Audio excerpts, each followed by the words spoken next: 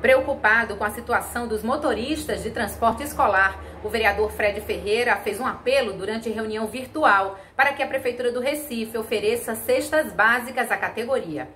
Eu queria aqui a gente conversar um pouco sobre um requerimento que eu dei entrada para que o transporte escolar ele fosse contemplado por cestas básicas aqui no Recife. Eu venho aqui pedir ao governo do estado, pedir à prefeitura do Recife que tenha um olhar para essa categoria.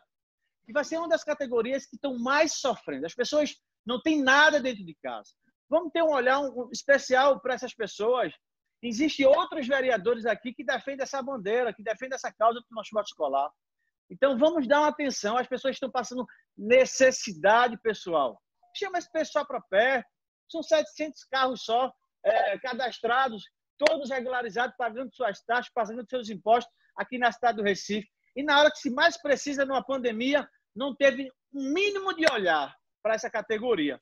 Então, aqui eu vim à tribuna essa manhã deixar o meu registro e deixar o meu protesto contra a situação, que é algo que eu já venho pedido aqui no dia 22 de maio, está aqui o requerimento, a Prefeitura da cidade do Recife já recebeu, e vamos, eu peço aqui o líder e peço aqui também ao vice-líder para a gente ter um olhar especial nesse momento.